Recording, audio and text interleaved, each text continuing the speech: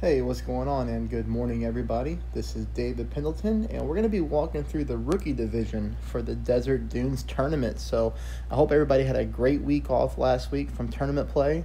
And now, more than likely, we're going to be playing three tournaments in a row with this one. You know, you have to think that we're going to get a nine hole cup next week, and then we'll start off a new season with another tournament again. So, three weeks of tournaments in a row, more than likely. We've got our work cut out for us. But uh, I am very excited to show you this playthrough here as things went really well. You know, the only thing that is unfortunate is hole number two. I did get a hole in one on, just not on this account. So, you know, with that being said, I have a lot of great replays to go over with you, many drop shots. And as I normally do, there are some aggressive routes uh, that we can take on rookie. I will show some of the players that have good clubs and, you know, berserkers on hand how to go a little crazy with it, but then I'll also show you the same hole on a much more uh, less aggressive approach. So a couple different ways to play some of these. If you're not a subscriber yet, please become one. It would really mean a lot to me. And then if you can take just a second there and hit that thumbs up button and like the video, that goes a long way for us. All right, let's go ahead and head into this bad boy. Hole number one is going to play be played 10% at max. And just for reference here, you're going to see I'm putting my white ring right on the rough line. Katana Ball is plenty of juice for this hole. As you can see here, we're only going with, you know, five bars of top spin, two bars of side spin to the right. For those of you who are playing with an extra mile seven or less, you're capped out at four and a half bars of top spin, but it's not going to be a big deal. We're going to be playing the second shot with a thorn no matter what. If you wanted to use a little bit of overpower with a smaller extra mile, you can. I just want you to be cautious on hole number one with using OP because we don't want to hit this ball too far and go into the rough. And as you can see here, with five bars of top spin, you know, it's not close, but it's, uh, it's close enough to point out if someone were to use overpower. This is going to bring us to shot number two. Shot number two, it's important that I put 10% at max. I don't always tell you the at distance on the second shot because it's really up to you to determine where you're at with your own club length. However, uh, on my first account, I did miss this ball to the left-hand side, and I pulled it at mid. So, you know, I decided on this account just to try to play it at max, and it does work out perfect. As you can see here, we're going to hit a perfect ball, and this ball is going to find its way into the home exactly where it's supposed to go, in the hole, dead center. So I did pull that one 10% at max, even though I was not at max distance of my club. I do think that's the way we'll need to play hole number one. All right. Hole number two, we do pick up a hole in one here. Uh, so this was my first attempt at it. So it, some of these replays are a little bit sloppy because I was really trying to figure out how to play the hole, uh, you know, on the fly. So we're going to need to use a Marlin here. A Navigator is too much power unless you want to take the rough bump with your Goliath which I don't recommend. Uh, I think this is going to play a lot better with a sniper. So we're going to go with the power zero ball. I'm going to go ahead and play this one mid distance at 0%. And the reason that I'm playing mid is just because this is this is heavy headwind. And I'm going to pull it at mid to compensate for that, meaning I'm going to have to pull my rings further back. And it just worked out on this one. As you can see here, it finds its way in. And we're starting off with uh, showing drops on hole number one and hole number two. And that's going to bring us into hole number three. Hole number three a little frustrating because I felt like I should have picked up the albatross on this hole. Um, but I'm going to tell you what I think we need to do for you to get it. And the key may be not to hit perfect. And I'm kind of joking, but not really joking. and I'm going to tell you why here in a second. All right, so for this shot is going to be shot number one, of course. We're going to go ahead and just play this one 0% as well. I'm putting my yellow ring kind of up in the corner there of the fairway. Don't need any elevation. We're using just a tad of curl to the right-hand side. That's not a big deal either. But as you can see here, we have plenty of room to work with. And this is going to leave us into a nice territory for a rough bump for an albatross. Now, I did miss it uh, on my first attempt, so this is my second attempt trying to correct my miss. Full side spin to the left. Now we know that's good. And what we want to do here is we want to find like this sticky spot on the green in which we can move our target around, but our ball guideline doesn't move too much. As you can see here, I finally found it and I settle in for this shot. Now I'm aiming dead center, okay? And I'm pulling this one 0% as well. So in 4.4 wind, I only pulled this 3.9 rings. That's it. Now you're going to see a perfect ball. And even with less of a pull, um, I still miss this one to the right-hand side. But just barely. Now, you know, uh, my opponent hit a great left and dropped the shot, which was funny because both of my accounts I missed to the right-hand side just like that and an opponent hits a great left and hits an albatross. Um, you know, the only thing that I could say here is we might just want to go ahead and favor the left hand side of the cup. So I would play the same elevation and the same type of spin, but I would go ahead and just offset this one left hand side. And I think that's going to pull us in closer to getting this thing to drop for an albatross. So I was a little disappointed with two perfect balls and no albas on that funnel, but it is what it is, and we move on to hole number four. Hole number four, pretty close here. So I want you to play this one at 25% at max. The shot that you were seeing right now is being played at 30%. So I would like you to play the same spin adjustments, the same landing area, but I would like you to play it at 25%.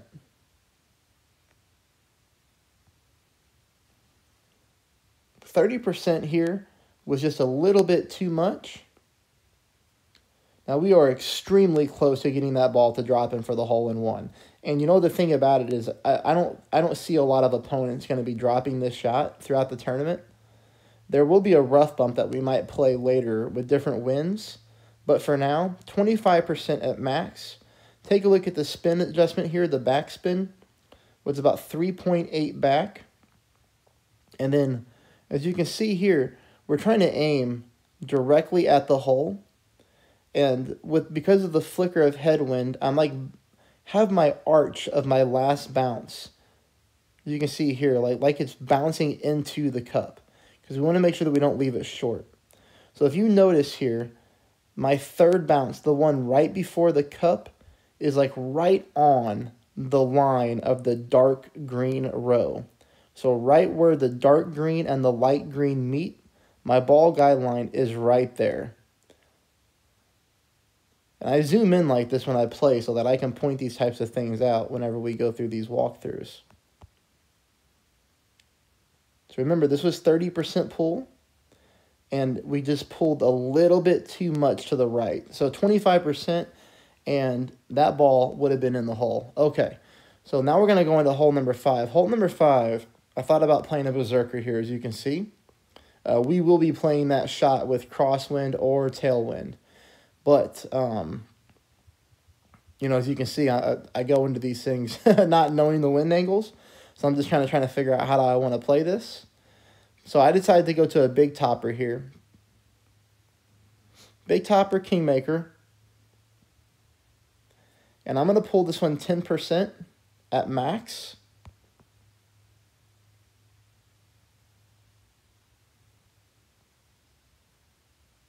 Now you're going to see the overpower that I'm using. About half of my ball was halfway in the bottom adjustment zone. There was room to use more overpower if I wanted to, but the thing about more overpower is with the big topper, that needle's going to get really shaky on you, and you um you know might have a little bit of a hard time hitting a perfect ball, and that could put you in the sand or rough. It would not kill your chances. uh, it's not going to kill your hole. You're not going to par if that happens. You're still going to pick up the birdie. But of course, on a short par four, we're definitely looking for the eagle. Now, I do not want to be in Endbringer range from this distance. I'd rather be Endbringer from up close, not long distance. But as you can see here, I'm going to line this thing up and I'm going to play this one 10%. I'm going to play it 10% at max. Now, of course, it's going to be up to you because you might be taking this shot with a thorn and you'll need to judge the own distance of where you're at. So if you're at minimum, mid, or max. You know, sometimes a tournament, well, most of the time a tournament is not just copy and paste. As you can see here, we just barely burned the left edge of the cup. That one's a little bit difficult to figure out how to play. So on this account, I did decide to go bombs away. So for you that have, you know, extra mile eights, nines, if you guys have berserkers, guys or gals have berserkers to spare, uh, you can definitely power this ball pretty nicely up the fairway here. But again, the biggest thing is going to be are you going to be able to hit perfect? Because this fairway does get narrow and, you know, I'm almost full OP, but not quite. But I do hit a perfect ball here. As you can see here, we really get this one up nice, leaving us with an extremely short chip in for the eagle. And here I am at short distance range, so that does allow me to go with a max top spin shot with my Endbringer. And from here in direct headwind, I just know that all I have to do is just leave my ball guideline pretty decently through the pin. And if I hit perfect, this ball is going in the hole. I don't have to worry about adjusting for elevation whenever we're getting direct headwind like that. Same thing with tailwind. All right, so we do pick up the eagle there on the more aggressive route, but I do think both ways are going to be able to eagle the hole. All right, that's going to bring us into hole number six. Now, with hole number six, if you're not playing with, with high level snipers, then I need you to make sure that you pack a big dog for this hole. I will not be playing a big dog on this hole because most people with a sniper are able to reach down here into with a sniper. It's all going to be depend on how hard you want to push your drive.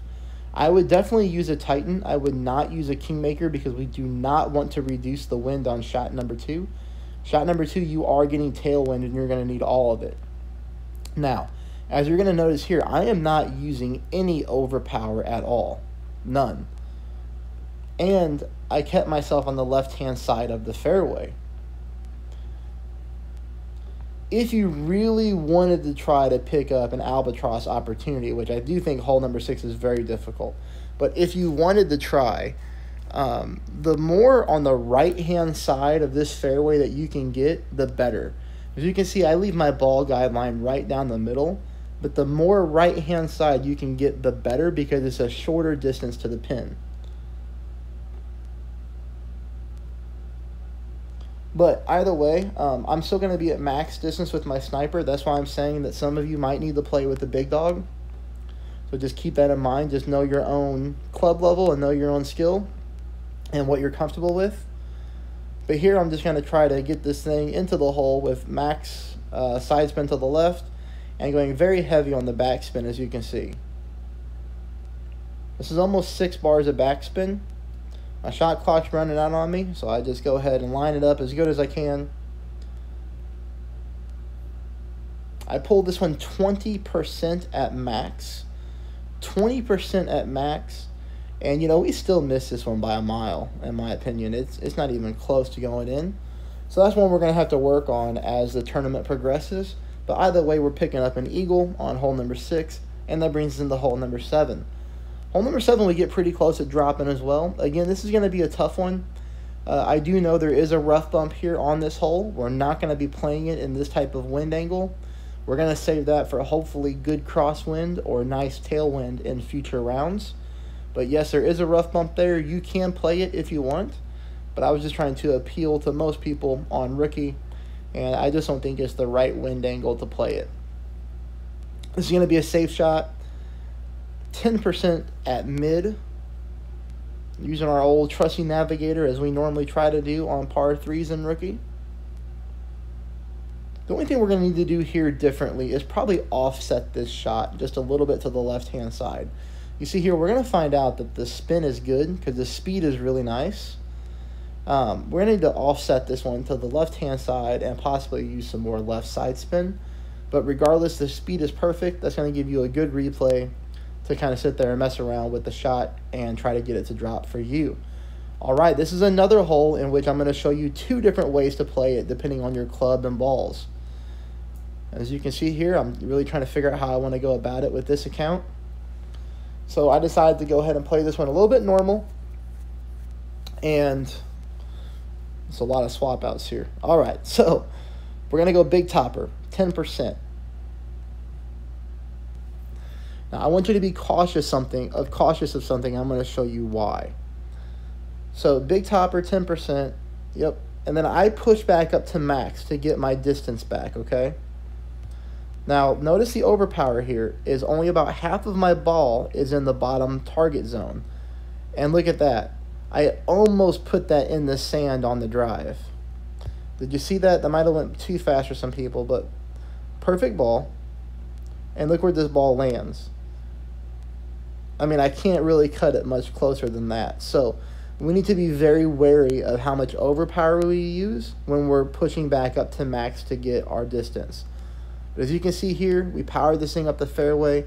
It's really nice. It's going to leave us here for shot number two. Shot number two is played 10%. And like I say, um, this tournament is is very difficult for me to give you the advice on most shots on whether you need to be playing at mid, minimum, or max. These drives are going to be very dependent on your overpower and how far away or how much distance you get on your drive. So you're going to need to check your own distance. But for me here, I'm playing this one 10%. As you can see, I'm playing it at minimum distance because when I pull my target back, I go right into the Endbringer. So I'm playing this one minimum distance with the thorn.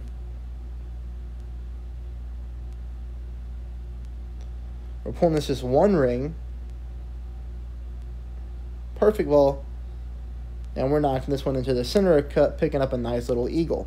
Now that's going to bring us on to the players who want to just go a little bit more aggressive, uh, as I normally like to play. So here we are going to use a Berserker.